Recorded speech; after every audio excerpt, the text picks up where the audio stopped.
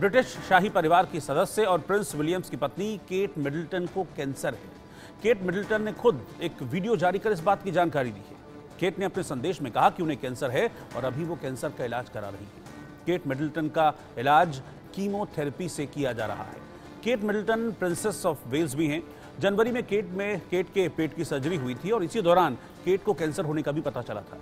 हालाँकि Kate Middleton के पेट में कैंसर है या नहीं, इसकी जानकारी वीडियो संदेश में नहीं दी गई है। ये भी पता नहीं है कि उन्होंने कितने कीमोथेरेपी के सेशंस अब तक लिए हैं और अभी कितने कीमो सेशंस होने उनके बाकी हैं। सर्जरी के दौरान केट को दो हफ़्ते अस्पताल में रहना पड़ा था।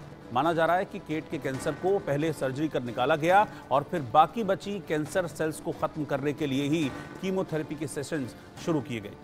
केट मिडिल्टन पिछले तीन महीनों से कोई पब्लिक अपेयरेंस उनकी नज़र नहीं आई है, लेकिन उनके वीडियो संदेश के बाद साफ़ है कि फ़िलहाल केट मिडल्टन की तबीयत ठीक है और कीमोथेरेपी बेहतर रिज़ल्ट दे रही है। हालाँकि केट कब तक पूरी तरह से ठीक होंगी, इसके बारे में अभी तक कोई आधिकारिक जानकारी सामने नहीं आई है।